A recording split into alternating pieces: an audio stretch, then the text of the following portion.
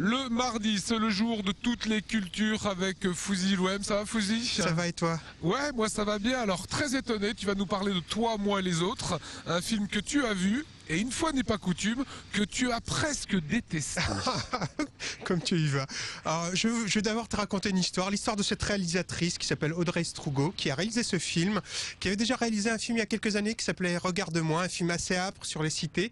Et pour réaliser son deuxième film, des producteurs l'ont approché, lui ont dit on aimerait bien que tu nous fasses une comédie musicale et comme star, on va prendre un un gars qui a fait du télécrochet qui s'appelle Benjamin euh, Siskou. Alors euh, elle fait son film et très bizarrement elle invente un genre qui n'existait pas en France qui est le film Bollywood à la française complètement par accident mais c'est exactement ça. Moi je vous propose de voir l'interview et elle va nous parler du genre bollywoodien. Ça va, rien T'as mal où Allez, viens, on va à l'hôpital. Et si vous voulez, moi je peux vous accompagner. Hein. Ouais, puis on se fait un ciné après. Pour un flirt Allez, on y va avec toi, je ferai n'importe quoi. Mais tu veux pas te taire, s'il te plaît, tu fais mal à la tête là. Excusez-moi, je cherche une fille qui s'appelle Leila. T'as rencontré un mec Oui, non. C'est un vrai toi ou il est un peu comme nous? T'as dit que tu cherchais Leila Arrêtez de faire des filles, y'a rien. T'aurais pas dit non. Bah oui, t'aurais pas tu vois Au-delà de l'aspect kitsch de Bollywood, si on parle en essence même de cinéma, c'est quand même des films populaires, c'est-à-dire voilà, c'est des films qui parlent à toute la population indienne, c'est des films qui parlent de la société indienne aujourd'hui.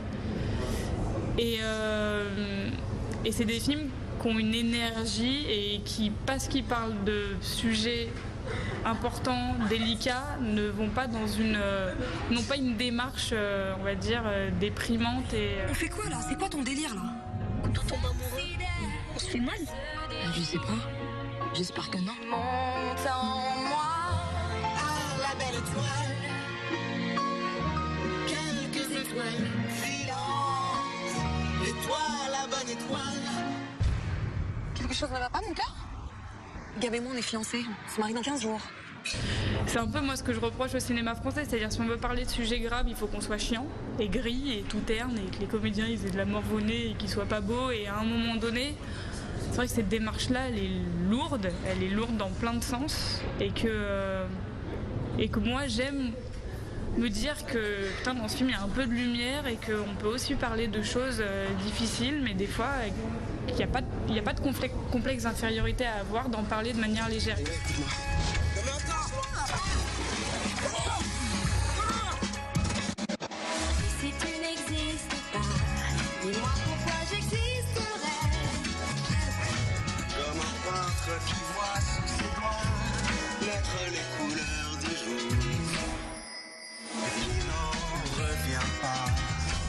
Honnêtement, j'ai pas eu un, j'ai pas eu une, euh, bah, j'étais pas bouleversé en lisant le scénario, j'étais pas, euh, mais euh, de savoir que c'était Audrey qui allait faire tout de, bout en bout, j'ai, fait ce projet par rapport à elle.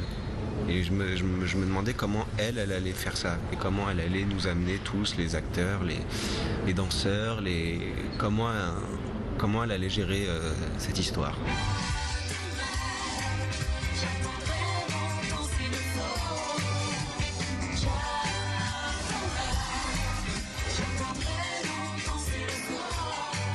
Finir comme ça. Et nous, on fait quoi, nous, maintenant C'est la seule chose à faire. Je, je sais pas ce que je suis. Avec Leila, je suis moi. Alors c'est quand même étonnant quoi. Le, le comédien semble mal à l'aise dans son film. Il a pas accroché visiblement. Il n'a pas accroché le scénario, il était étonné de ce que la réalisatrice pouvait faire. Et effectivement, le film est assez étonnant. Alors, quand je vous disais tout à l'heure que j'avais pas aimé, c'est parce que je n'aime pas les films bollywoodiens, je n'aime pas les comédies musicales, je n'aime pas les bons sentiments lorsqu'il y en a pendant tout le film. Mais c'est un film raté? Bah, je pense que c'est un film réussi pour les gens qui aiment ce genre-là qui aiment chanter pendant toute une séance, qui aiment les danses, qui aiment les films très colorés. Dans ce cas-là, c'est un film très réussi, allez le voir.